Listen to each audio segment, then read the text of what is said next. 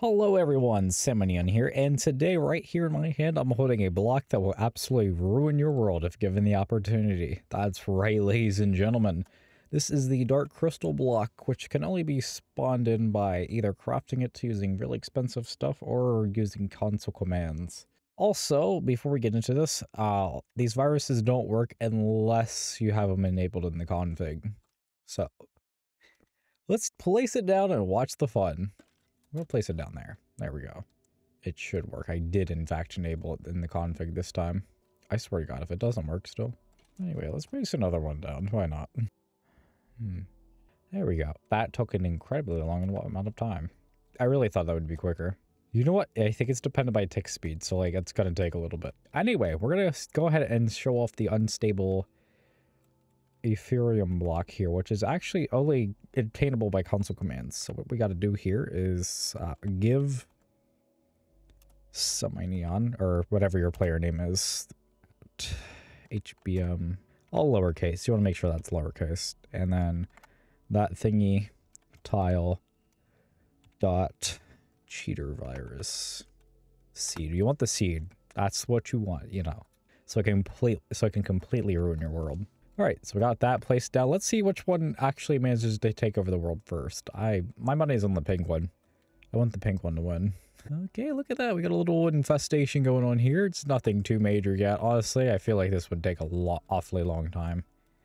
And like, realistically, if you just toss one of these, or probably not this, but if you just toss one of these, it's game over for it. It's just honestly.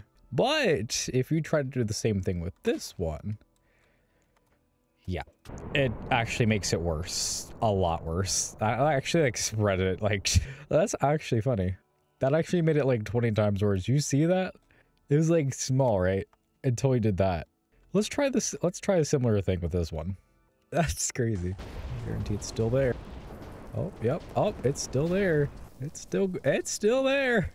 That's funny, actually. Yeah, so probably don't do that with that. Cause that, uh, maybe if we toss more of them, but if you do the exact same thing with this, that will actually stop that virus replicating.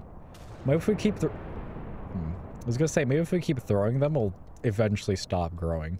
That doesn't seem to be the case. Oh, you know what? We got a big, we got an idea here. Okay, kit. We need the prototype kit, um, which is like the biggest freaking thing, right? Solinium kit. You should try that.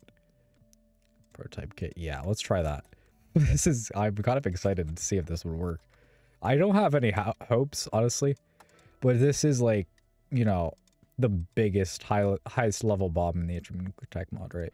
I also kind of forgot how these are configured. I'm not even gonna lie. You really think I should know how to do all this because HBM new, it's kind of like a niche. Okay, I think we, yeah, we're clicking the prototype. We don't want to do that yet. I want to use the small one first, the Solinium kit. It is technically speaking a anti biological thing, so maybe it, since it's a virus, maybe that would work. I don't actually think it will, because like that would be, it might actually spread it more, because that the general consensus with this, that a virus will spread more the more, uh, okay, detonator. This should just take out biological life forms. Okay, that had actually no effect on that. Did take out all the trees and stuff though. It's oh lordy. This is this is bad. This is actually bad. Alright, well we're gonna go with the big okay. well it's it's going through the bedrock. It's actually going through the bedrock. okay. Uh chat. So that in fact did not actually work.